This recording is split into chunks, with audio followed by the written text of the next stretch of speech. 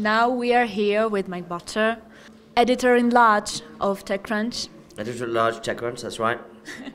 Thank you very much for joining us. So we are here in Davos, and uh, the first subject that is discussed is digital economy. Mm-hmm. Blockchain is the word that is heard everywhere. How do you feel the media is handling now all that is related to blockchain and crypto? Well, I think it's interesting because the mainstream media is very much having to try and play catch up uh, in this subject. Um, most of the journalists, even in tech, aren't necessarily up to speed on it as well, uh, because the, the industry uh, of blockchain and cryptocurrency has only really um, become a, a, big issue in the last year. Um, prior to that, it was considered an interesting technology, but nobody, uh, you know, people weren't quite as interested in as they are now. So the mainstream media is playing catch up, and you know you see a lot of you know simple mistakes made about you know mixing up the differences between uh, tokens and coins and, and what have you. So it's it's a tricky one. I think it, we will get there, but it's uh, it's certainly a fascinating time. How do you feel the um, influence of media toward the market volatility now in fintech? Um, I think that there's a bit of a problem um, because uh, there needs to be much more robust journalism about this space. Um, a lot of it is sort of fairly press releasey, and uh, I think we can need to you know do a better job. And it would be good if if everyone could could do that a little bit more. Like independent journalism would be better. What is for you uh, news that is worth of being published? I mean that now companies are using blockchain and putting ICO and think that this is worth newsworthy. What is for you the thing that catches your attention? Well, the thing about TechCrunch is that we are fundamentally interested in the actual underlying technologies of all of this new world, and um, we uh, so we don't really go in for writing about ICOs and things like that. We prefer to talk about the underlying technology, uh, the actual applications, what it's going to disrupt, uh, those kinds of things. Sure, it's fine to mention the fact that they might be doing an ICO, but that uh, that's not really for me what should lead the news. Um, and also, I think there's you know some ICOs are uh, interesting, many are not. So uh, it's the fundamental technology that counts. You were one of the first that catch the, the launching of TON ICO, mm -hmm. Telegram ICO. Mm -hmm. So how would you evaluate the project and what did actually attract your attention?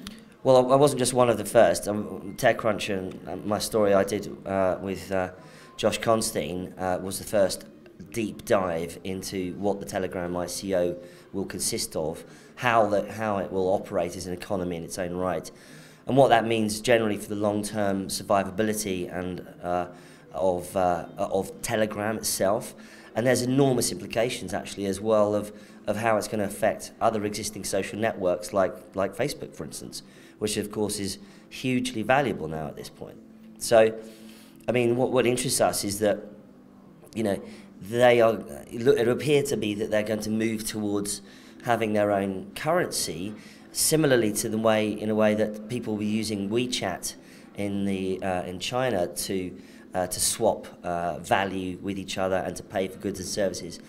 And, it, and I think it's fascinating because Telegram's ICO and therefore the TON uh, currency that it's going to come up with, um, it, it, means basically that, um, that this will be the first ever mainstream consumer application with a currency attached to it, uh, which um, uh, you know nobody's ever done that before. It's, it's really a big deal. So, uh, for obvious reasons, that's a, a big news story for TechCrunch. What about other highlights of uh, the year of 2017? What actually caught up your attention the most? What influenced or inspired you in fintech and news about this? Um, well, I think uh, it was fascinating to see the rise of uh, challenger banks uh, like uh, Revolut or Starling in Europe. Um, so challenger banks suddenly starting. I think that's going to give consumers a taste for brand new banking systems and banking brands. And then once they have a taste for that, then they might also be interested in uh, what's going on in the crypto world.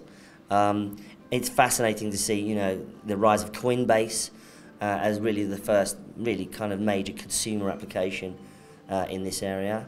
Um, and you know, who knows what 2018 will bring? I think many interesting things. So, what are your expectations? We'll watch this space. I have no expectations. I just, we just have to ride the uh, ride the raging bull, as it were, for a while. I think uh, there's a lot of people talking about a market correction. I think that probably will happen in the real world economy as well as the crypto world. Um, and actually, funnily enough, when there's market corrections, you actually get a lot more innovation. So the cycle continues. What about the public attitude towards crypto and blockchain? How did it evaluate during all the time that you're working uh, for tech-related media, and what do you think will come in the years to come? Um, I think that uh, 2017 was when we saw crypto go become a mainstream discussion.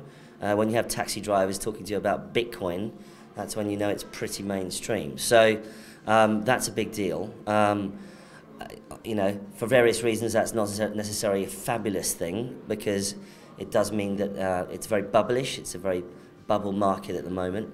Um, but um, I, think that uh, the fundamental underlying technology of what blockchain technologies are all about are not going away. They're here to stay. Uh, it is the authentication layer for the internet that the internet always needed. And, and from here, the sky's the limit. What about Davos and crypto community here? Is it different from other crypto communities at different events that you met? Do you think that the level of discussion is different here? Uh, or like the views uh, towards blockchain and crypto? Well, I think there's a lot of hype, um, and lot, you've got to remember that most of the people attending Davos are really in the finance community um, and asset management. Now, that means in a way that actually they're quite naturally predisposed to uh, understand many of the concepts around uh, crypto cryptographic assets. Um, but um, in terms of the te technology, they're often uh, still behind. So, um, you know, you go to sort of CEO dinner and they talk, you know, talk about blockchain, blockchain, but they don't really know. A lot of the time, they don't really know what they're talking about. So um, it's really fascinating to watch. Um, it's not as, as geeky, shall we say, as some of the uh, events I've been to to cover the space, uh, but it's also very interesting. And um, yeah, it's, it's worthwhile, I think. But as somebody said to me the other day, they said, uh, why are we doing uh, crypto in Davos when we should actually just be doing our own version of Davos uh, for the crypto community? And that's probably what will happen. Great. Well, enjoy your time in Davos, and uh, thank you very much for your time. Thank you. My pleasure. you.